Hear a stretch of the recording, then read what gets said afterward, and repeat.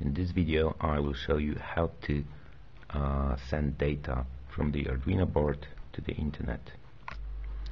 Uh, here we have a very basic uh, circuit.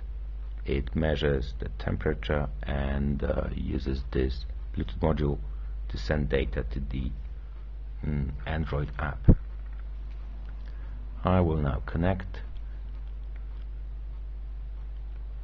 and as you can see temperature is 21.75 degrees centigrade. Uh, if I select this checkbox uh, the app will say the temperature every 15 seconds. And uh, if I select this one uh, it will start uploading data to COSM website. Uh, the default URL is already uh, included in the app, but you can change it using the QR code scanner.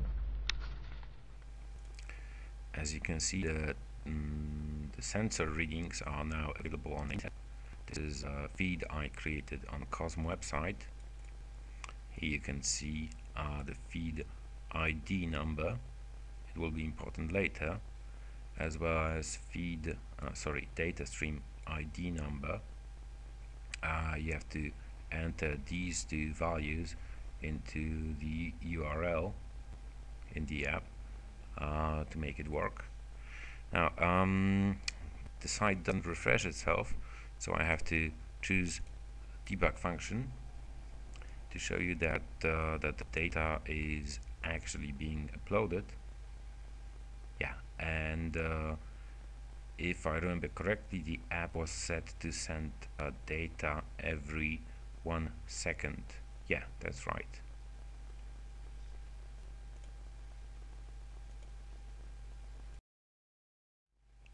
Now let's focus on the app itself and App Inventor.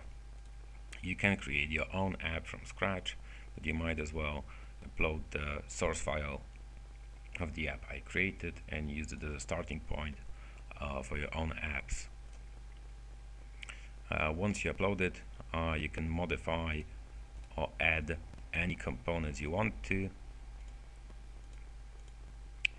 Here you can add more elements, um, well, buttons, checkboxes.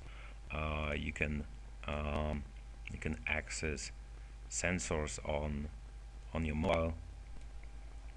Uh, and here we have blocks editor here you can modify what the app does this part right here handles Bluetooth uh, communication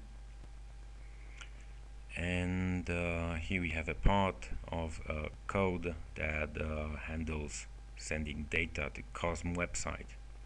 Here we have a variable that's basically the URL of the data stream I created on COSM website. You can modify it uh, it's uh, described in the app itself.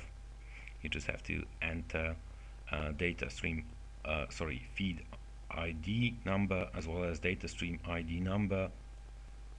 Here we have the um, here you have API key.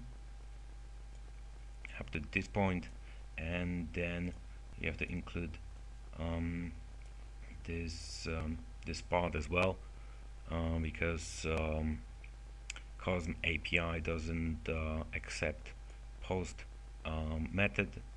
You have to uh, add this line uh, to change it into put methods. Otherwise it won't work